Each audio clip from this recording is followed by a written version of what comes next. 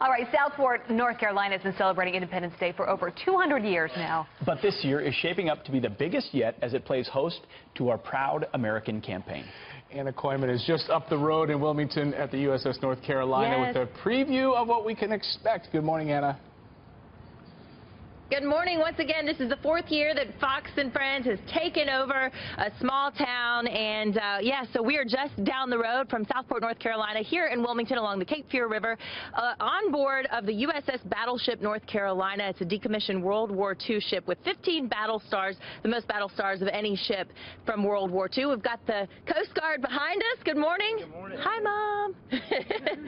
Been telling us this morning what makes them proud to be Americans, and we want you to do the same thing. Get on social media, Facebook, Twitter, Instagram, and YouTube. Use that hashtag Proud American, and we'll be sharing some of those photos. But I want to bring in some of my new friends from Southport. Hey there, guys. Hi. How you doing? Very good. Can we take this?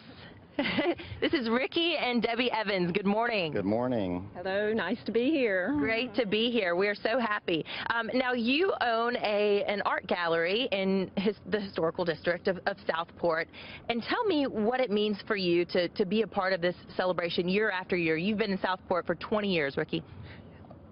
We have, and, and uh, we're so proud uh, to be Americans and to have the freedoms we enjoy, but I, I, think I'm most proud of our community and how they use those freedoms to the betterment of others that are less fortunate. Yeah, and you're initially from Mississippi, but you've been here for 20 years or so yourself.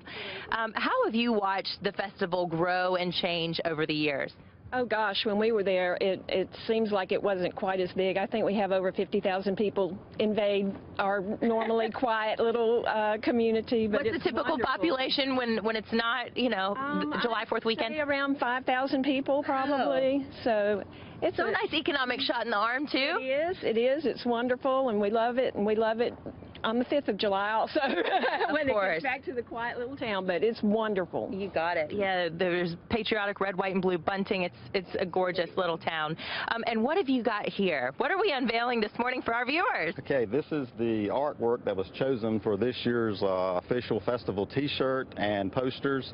Uh, every year we uh, get local artists to submit designs and our festival committee chooses one of those to be honored uh, on the t-shirts and, and, and you can purchase these at our booth uh, today and tomorrow over at the mm -hmm. festival.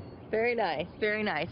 And you've got some T-shirts for us too. Whoops. Got some swag. Can I stick it on my head? Is that all right? You may. All right. Two colors. Oh yeah, let's model. Ready? Hey. Very nice. And what can we be expecting? We of course have the parade, a naturalization ceremony, military ceremonies. What's your favorite part of the parade and, and the festival as a whole? I think my favorite part is uh, maybe the sailboat regatta, but uh, besides that, the parade and the fireworks. And the fireworks, yeah, you got to see the fireworks. Absolutely. The music is fantastic. Um, the kids' games, there's something for everybody. Well, thank you so much. And where can folks find out more information about you if they want to hop online and maybe buy some of your artwork? Because you've got some of your own, too. You're an artist as well. We do. Uh, RickyEvansGallery.com. Very nice. Great. Well, happy to get that plug in for you. Thank you. And thank you so much for your service, everybody from the Coast Guard. Back to you in New York. All right. Awesome. Looking so good, Anna.